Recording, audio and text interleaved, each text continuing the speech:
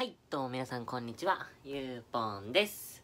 本日はですね、えー前回、野球道具紹介第1弾としてグラブ、ミットなどを紹介していきましたが、今回はですね、えーバット、えーそしてバッティンググローブ、そしてリストガード、そして守備手袋、この4点をご紹介していきたいなと思います。それでは早速、いってみようはい、ということで早速紹介していきましょう。えまずバット、まずこちらですね。水野の、なんて書いてあるかな、これ。プロフェッショナルセレクション。プロフェッショナルセレクション。あ、光が。プロフェッショナルセレクションというモデルでして、まあ、何のモデルかよくわからないんですけど、一応公式木製バットですね。はい。こんな感じです。えー、上の部分が黒、そしてグリップの部分が、えー、赤になっているバットですね。こんな感じで。で、これのバットの最大の特徴は、これなんですよね。えー、ヘッドじゃなくてヘッドじゃない、間違い逆。グリップエンドがないやつになりますね。のタイカップにはなってるんですけど、えグリップエンドがない。ここ、普通だったら、こういう丸火を帯びてるものがあるんですが、それがなくて、そのままここにこうなってるやつですね。まあこれは多分、個人的には多分あの握力を鍛えたりとか、まあね、あの力をつけるためのものなのかなって思いますね。割と、まあ、全然形状とか違うと思うんですけど、都合選手が以前使っていた IP セレクトのアルモニーやエスパーダのバットに、どことなく効果が似てるのかなと思いながら、素振り、素振りとかで使ってます。まあ、主に素振りでこれは使ってますね。一応竹バットなので、普通にボールを打つこともおそらく、てかまあ打ってる跡あるので、多分できると思います。一応もらい物です。はい。続いてはですね、こちら、えー、久保田スラッガーの公式木製バットになります。まあ、これはかなり昔のバットなんですけど、これは自分の父親が昔使っていたバットです。まあ、父親といっても、まあ、あのーグランドソフトっていうやつがありまして、それの、それが、で、公式木製で使っていたそうです。はい。こんな感じのバットですね。うん、全然折れてもないですし、結構、10年以上前のバットなんですけど、全然折れてないですし、全然、まだまだ使えるなと思います。こんな感じ。まあ、グリップはちょっと細め。ここら辺は細めで、ちょっと少しタイカップ気味になっている感じですね。はい。重さは多分、これは750から800ぐらいのバットだと思います。はい。これ最近使ってないので、また今後使っていこうと思います。ちょっとトップバランス気味ですね。はい、こちら動画でよく見ます。えー、水野のスカイウォー、スカイウォリアーってやつかな？ですね。はい。まあ、少年軟式胸筋族。今は発売されてないらしいやつですね。らしいです。はい。まあ、なんか飛びすぎるとかで問題になったとか言われてるらしいですが、自分はよくわかりませんね。はい。まあ、これは自分が抜線行くように昔買ったものですね。今はもうほとんど素振りで動画用でしか使っておりません。軽いバットで、TikTok の動画で軽いバットで振れと言われてるので、これを使って振っております。多分これ600グラムぐらいしか、550から600グラムぐらいしかないはずなんですね。はい。まあ直感的ですけど、測ってないのでわかんないんですけど。バット最後4本目。最後はこちら。SSK のプロエッジオーダー書いてますね。SSK の公式木製バットです。で、ここにですね、NPB マークが入ってるんですけど、まあこれは誰のバットかと言いますとですね、元日本ハムファイターズ、宇佐美塁大選手が以前、まあもう引退されてるんですけど、使っていたバットになりますね。まあ、宇佐美瑠衣太選手といえば、まあ、Z のイメージが強いと思うんですが、まあ、SSK を使っていたことも時期もあります。はい。グリップが細かなり細めでで、タイカップになっております。重さは多分910ぐらいあるのかな。900から910ぐらいあって、トップバランスとなっております。はい。まあ自分はほとんど、何回か振ったぐらいでほとほとんど使っておりません。はい、続いては守備手袋いきたいと思います。えー守備手袋はですね、全部で3つあります。はい、全部水のプロになります。こんな感じ。では、一つずつ紹介していきます。はいまず一つ目はですね、こちら。えー、水野の水のプロの守備手袋。2018年までのモデルですね。これは、まあ、高校野球対応なので、自分が高校の試合の時に使っていた守備手袋ですね。はい、こんな感じになります。まあちょっとね、ここが破けてはいるんですけど、まあ全然使えたので使ってました。続いてはこちら、えー、こちらも水野の水野プロの守備手袋です。まあ、さっきのこれの、えー、普通のカラー、白と黒のカラーのやつですね。こんな感じ。まあこれは高校の練習の時、高校1年生の頃、高校1年生と2年の最初の方まで練習で使ってたやつですね。はい、守備手袋最後はですね、こちらになります。えー、こちらは水野プロの2019年以降に発売されたモデルですね。はい、こんな感じです。で、ここに刺繍もね、入れてもらってます。Y ゆうすけと書いております。まあ、自分の本名ですね。はい。本名公開します。まあ、漢字はね、公表しませんけど。え、こんな感じになります。でね、水のプロ、まあ、このね、2つもそうなんですけど、えー、これですね。水のプロの最大の特徴、守備手袋の特徴、これですよね。ここが、普通の守備手袋ってここ、まあ、ゴムになってると思うんですよ。ゴムとか、ね、普通にマジックテープ式のベルト式のやつになってると思うんですけど、そうじゃなくて、こういうね、メッシュになってることによって手首がしっかり動かしやすくて、えー、まあ、グラブをはめていても、ちょっと取ってきますね。このようにですね、グラブをはめていても、しっかりと動く。これが一番で、手首をうまく使えるので、補給がしやすいという、そういうメリットがあるのかなって思います。あとは、ここにメッシュがあることで、しっかり、え、空気が通って通気性が良くなって、中の群れが少なくなるのかなって思います、はい、続いてはバッティンググローブいきます1つ目がこちらになりますえー、マルーチのバッティンググローブです。まあ、これはもらい物なんですけど、マルーチ、あの、バットとかでは結構有名だと思うんですけど、なかなかね、バッテとか、まあ、見ないと思いますね。はい。マルーチのバッテはですね、あの、こうやって型押しされていて、ちょっと合皮っぽい感じなんですけど、コーヒー、まあ、ちょっとどっちかというとアンダーマーなのに似てるのかな。そういう感じなんですけど、しっかり柔らかくて、えー、薄めで柔らかい。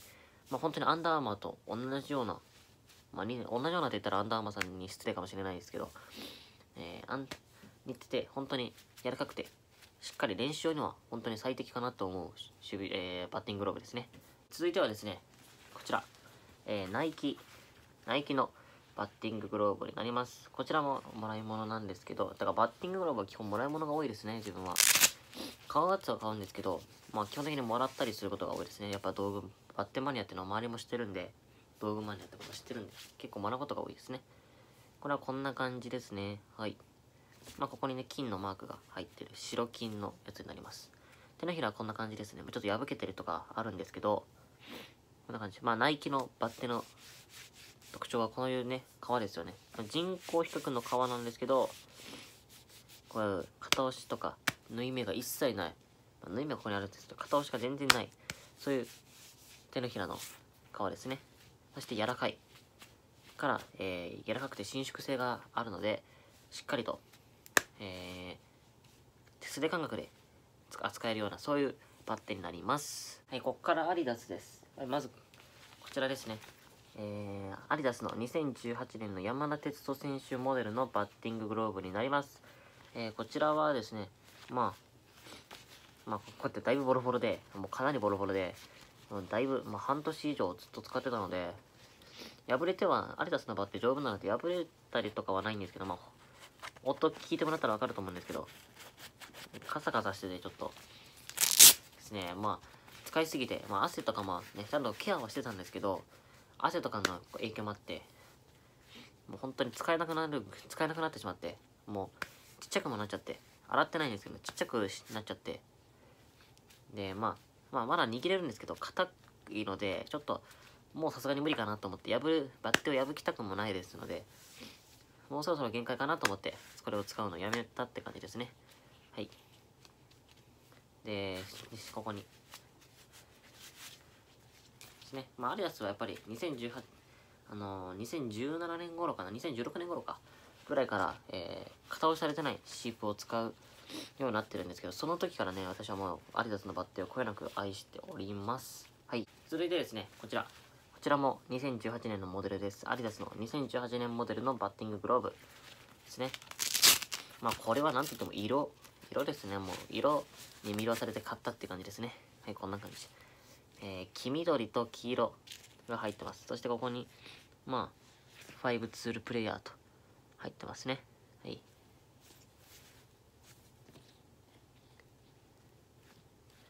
こんな感じ。はい。まあ、これもね、だいぶ使ってて、まあ、まだ使えるんですけど、まあ破きたくなくて、まあ長い間使っときたいので、最近はあんまり使ってはいません。また使う機会があったら使いたいなと思います。はい、続いてはですね、こちら。えー、アディダスの2018年の、これも2018です。2018年ですね。のベースマンさん40周年限定のバッティンググローブになります。まあこれもさっきのこれ同様、まあ色ですね。色に魅了されたやつですね。はい。こんな感じ。まあ、黄緑とちょっと濃いめの緑ですね。はい。まあこれも型押しされてないシープで、こんな感じになっております。やっぱり、こうやって、ね、加藤されてないシープなんで、こうやって手触りが良くてですね、まあ、手馴染みも良く、で、バット握、バット握って、ね、まあ、滑るかなと思うんですけど、意外とね、こういうのがね、あの、あのあれ、スプレーとかしてても全然、スプレーしなくても全然、あの、滑らないんですよね、これね。なので、やっぱりこれはおすすめですね。ちょっと高いんですけど、まあ、試合用として1個持つのは全然ありかなってのは思います。ここからは水のプロゾーンです。はい。まず1個目。こちら。えー、水野の水のプロの2020年モデルのバッティンググローブです。こちらは、えー、高校野球対応のバッティンググローブとなります。ね、まあ、あの、今まではね、あの、新しくなった2020年モデル、何が変わったかっていうと、まあ、まず最大の特徴はここですよね。今までのやつは、今までのパワーアークってこうなってるじゃないですか。こんな感じなんですけど、それがこうなって、ここにね、キンシャキンシャキンシャキンみたいな感じになってるんですけど、まあ正直何が変わったかのは、まあ自分じゃ説明ね、できないので、まあそれは水野さんに聞いてみてくださいって話なんですけど、まあデザイン性も変わって、ガラッとイメージ変わったのもありますし、とにかくあの、こここの補給、手のひらの部分がちょっと変わったような気がするんですよね。なんか、まあ、そんな、見た目はあんま変わってないんですけど、しっとり、今まで以上に、あの、しっとりして、その手、あのー、手なじみがすごく良くなったなっていうのは、今まで以上に、まあ今までもすごかったんですけど、今まで以上に思うようになりましたね。はい。続いてですね、まあさっき出たこちらですね。はい、水野の水のプロパワーアーク。まあこれ 29TC 入ってる。もらい物なんですけど、これも。まあこれはこんな感じですね。青と金と銀のバッテですね。はい。こんな感じです。で、手のひらはこんな感じ。これも、今、素振りを、素振りと、素振りとかで使ってますね。まあ、試合用は何個も、あの、お気に入りがもっと大きい、もっと、これ以上にお気に入りなのがあるんで、これもめっちゃ気に入ってるんですけどね。やっぱあと、あの、試合と同じモデルみたいなのをつけておくこと、つけて、まあ、特に試合前、試合前、試合前日とか、前々日とかにやることで、まあ、感覚とかも一緒になるのかなっていうのは思います。はい、続いてはですね、こちら。えー、こちらも水野の水野プロパワーアーク。こちらは全部銀色と。で、ラベルだけ金色というバッティンググローブですね。まあ、これはもう、これももらい物なんですけど、これはもうあれですね。とにかくデザインに魅了されたって感じですね。はい。これはね、ちょっと前のやつとモデルがちょっと違うんですよね。これとちょっとモデルが違ってですね、はい。ここの、ここのシリコンの部分がないやつになります。はい。なので、でですね、まあ、もらい物なので、いつのものかはわからないんですけど、まあ、数年前のものなのかなってのは思いますね。はい、こんな感じ。でもね、あの、その分、ここにね、シリコンがない分、もっとなんか手の、ここの柔軟さがね、増したような気もしなくもないですね。はい。で、手のひらはこんな感じです。はい。まあ、これもね、だいぶ使っております。続いてはですね、こちらになります。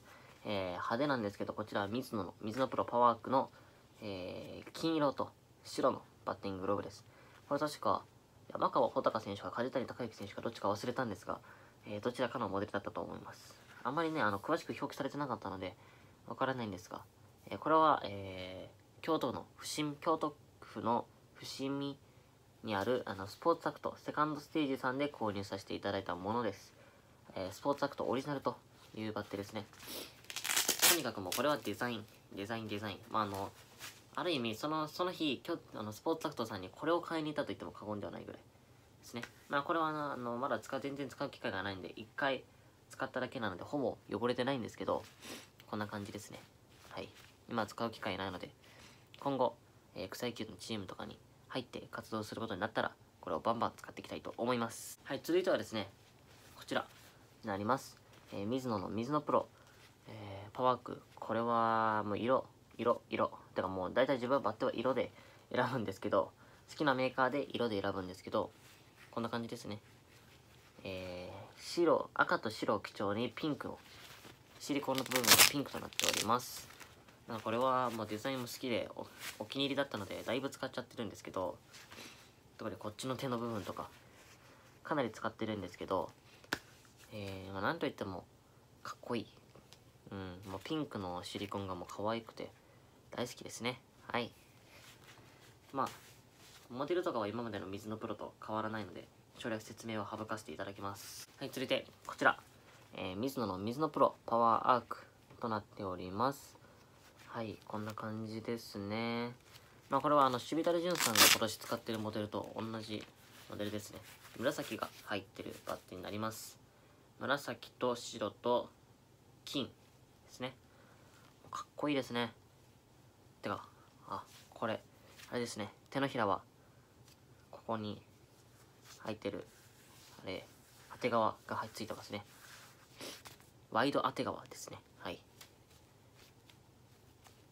こんな感じになっておりますまあこれはねまだあの使う機会がないのでまだ一度も使ってはいないんですが今後あのこのさっきの金色と同様に今後試合で出るようなことがあれば使っていきたいと思います。はい続いてはですねこちらになります、えー、水野の水野プロ、えー、パワークこれはもう色色色。てかもう大体自分はバッテは色で選ぶんですけど好きなメーカーで色で選ぶんですけどこんな感じですね。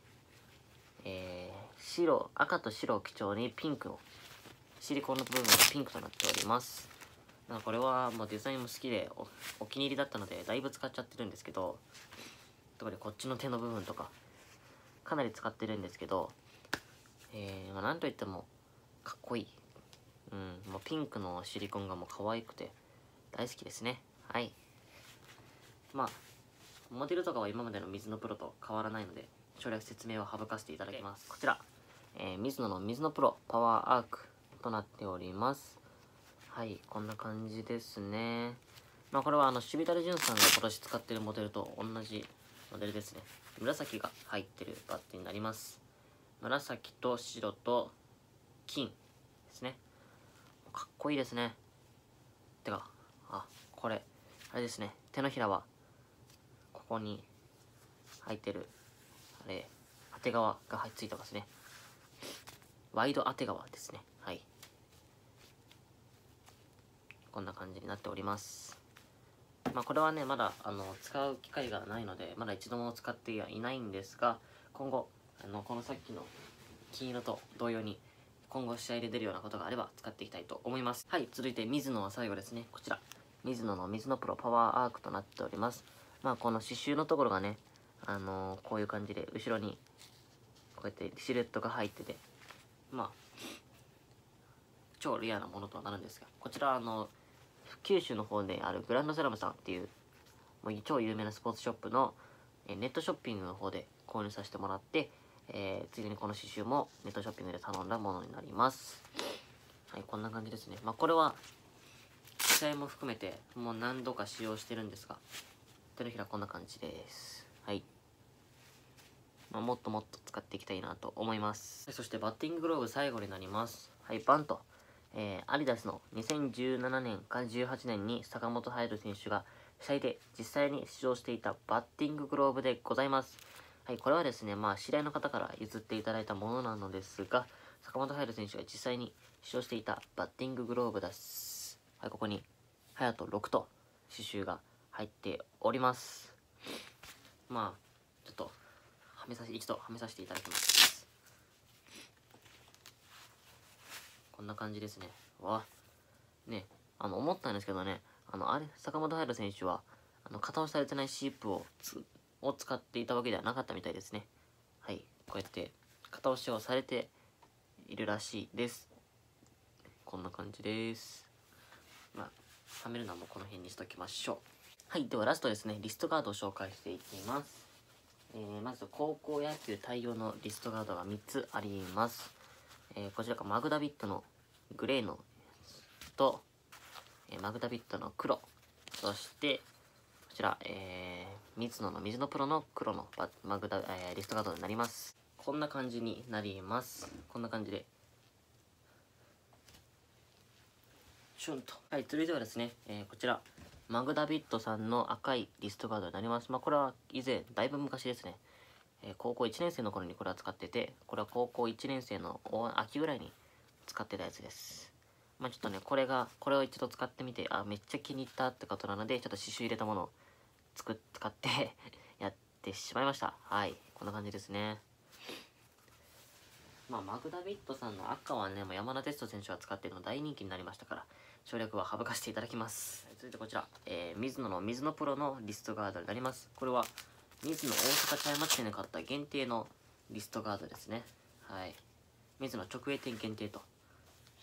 これはこんな感じですね。まあ、ピンクですので、ちょっと派手めになっております。自分は、えー、このバッティンググローブなどで使っております。はい、このような感じですね。で、バットを持つと、こうなると。こんな感じで使っておりました。はい、そして最後が、えー、こちら、プロサポーターのリストガードですね。こっちがピンクで、こっちがライムとなっております。まあ、この2つはね、まあ、ピンクと黄緑色は自分大好きな色なので、使ってるというわけですね。まあ、黄緑に関しては、黄緑に関しては、えこちらの、アジさんのこちらを、なので、使わせてもらったりはしております。はい、実際つけるとこんな感じになります。はい、こんな感じですね。はい。ちょっと服と合ってますね、色が。はい、というわけでいかがだったでしょうか。